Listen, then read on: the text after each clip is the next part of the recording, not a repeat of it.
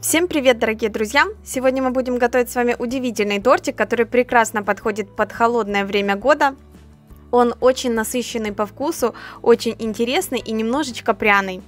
Он подойдет, если вы любите ароматные и вкусные зимние настоящие тортики. В нем очень много орехов и сухофруктов.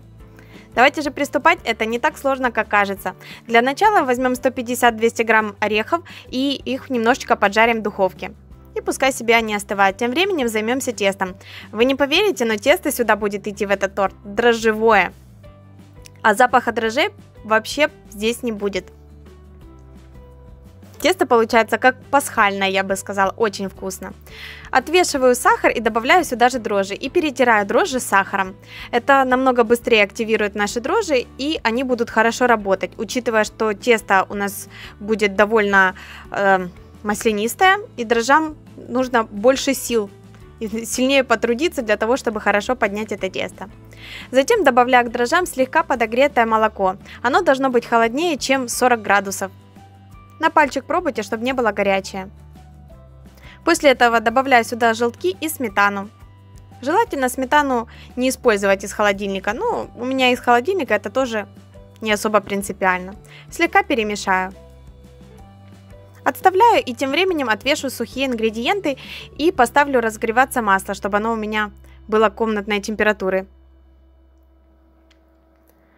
Я отвесила 400 грамм и отсыпала отдельно полстакана муки, который я возьму на подпыл. Сразу же в муку буду добавлять разрыхлитель. Нам нужна хорошая такая чайная ложка, немножечко с горкой. Это для того, чтобы помочь нашим дрожжам и сделать маленькие такие поры в нашем тесте. И добавляю сюда корицу. Кто не любит, не добавляйте. Кто любит, может добавить чайную ложку, либо полторы. Будет более ароматно. Можно добавить какие-то еще специи. Подрастопила немножечко масла в микроволновке, оно не должно быть горячим, но хорошо размягченным, чтобы оно соединилось с нашими жидкостями. И добавила его к жидким продуктам.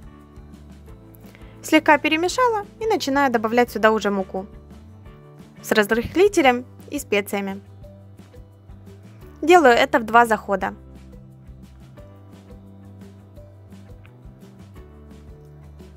Тесто получается мягким, эластичным.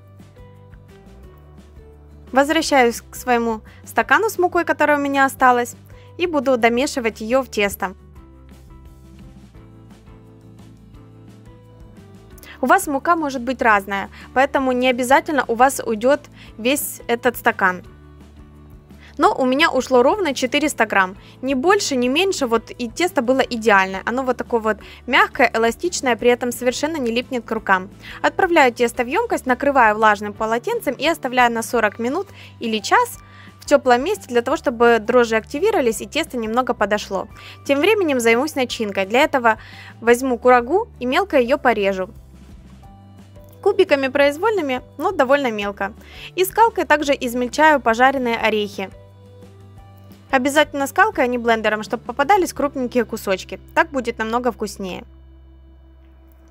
Смешиваем все это вместе. И сейчас сюда мы будем добавлять абрикосовый джем. У меня это домашний абрикосовый джем. Его консервировала мама. И она добавляла сюда еще немножечко апельсина. Поэтому он такой немножечко с апельсиновой ноткой. Также она добавляла немножечко пектина, и поэтому джем густой. Если у вас джем жидкий, абрикосовый, добавляйте всего 400 грамм. У меня густой, поэтому я добавляю 500, и течь он у меня не будет, благодаря пектину. В теории можно, конечно, приготовить и с повидлом, но, конечно, вкус немножечко поменяется. Тесто мое подошло в два раза. За счет большого количества жиров в этом тесте. Дрожжам тяжелее работать. Но все равно тесто получится у нас воздушным. Разделяю тесто на 7 частей. Можно разделить на 6, а седьмой у нас получится из обрезков.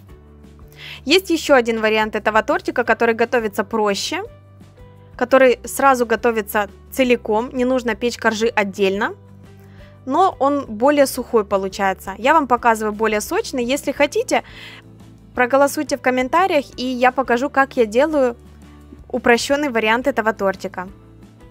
Раскатала тесто довольно тонко, вырезаю по форме 20-22 сантиметра Обрезаю вокруг остатки. У меня как раз сюда влезет два коржа, чтобы пеклись вместе.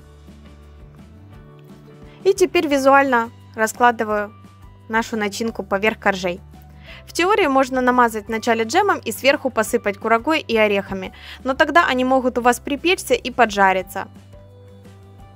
Я бы не хотела, чтобы у нас так это было. Поэтому в перемешанном состоянии намазываю на коржи. Старайтесь максимально доходить до конца, чтобы и бортики у нас тоже были намазаны всей этой вкуснотой. Это очень вкусно пахнет. Вот такие коржи у нас получились. Отставляем их минут на 15, чтобы они чуть-чуть подошли. И ставим в духовку разогретую до 180 градусов.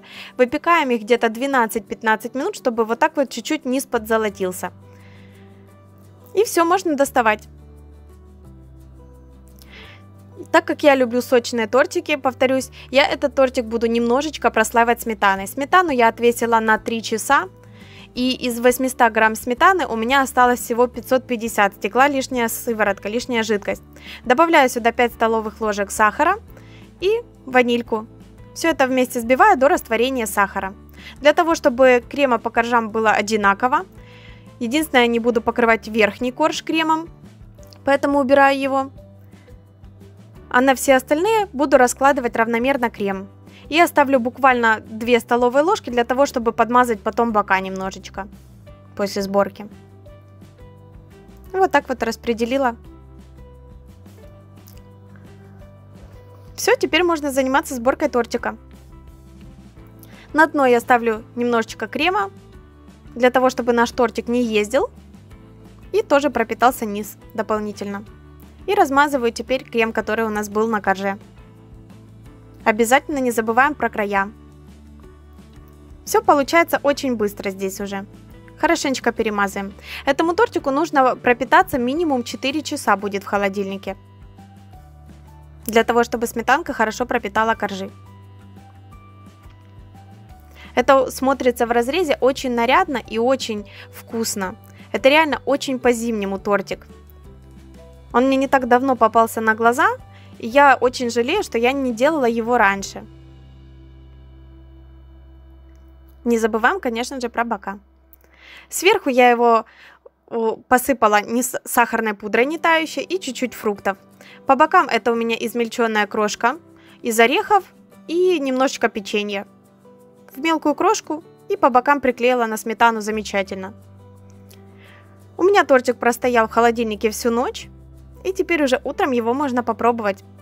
Он точно пропитался за ночь.